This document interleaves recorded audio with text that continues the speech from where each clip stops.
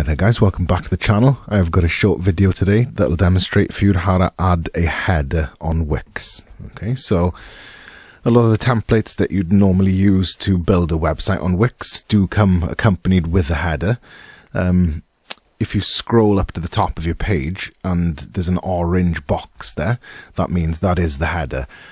However, if for whatever reason your website hasn't got one, maybe you've started from a blank template or used one that doesn't have a header by default, um, this is how to add one to your website. Okay, so it's done per page. Um, if you go to the pages and menu uh, option on the left hand toolbar, which is the green one there, on the page that you want to add a header to, you'll single click it and then you'll see on when you hover over the right hand corner of it these three little dots here. When you click those three little dots they give you the options for that page on your website and then you want to go into the settings option the first one on the list here.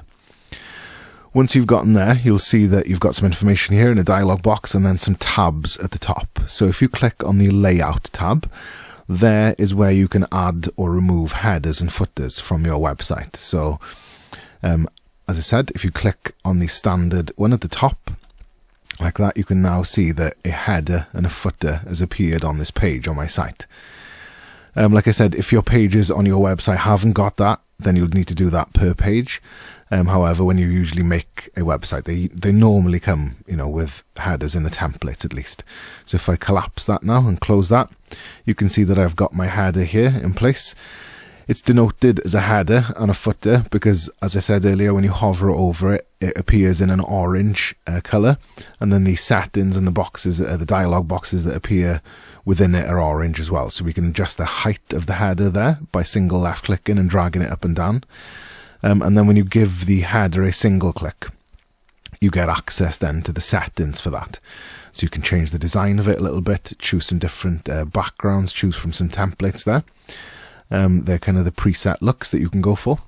And then if you close that, um, I've currently got mine for no colors just so you can see through it, you know. If you then click on the settings for header scroll settings, the little cog there, you get to decide um, how the header behaves. So whether it fades out as the user scrolls down, whether it disappears and kind of sticks to the top of the page, whether it freezes in place so your user can see the header permanently no matter where they are on the page, or whether it scrolls with the website. So it kind of essentially becomes part of the page then, okay? So if it's got a menu, maybe the page is really long and you don't want to have to make the user navigate all the way back to the top of the page for whatever reason, then you could maybe select the freeze option and have it just frozen at the top of the screen. That concludes our video tutorial.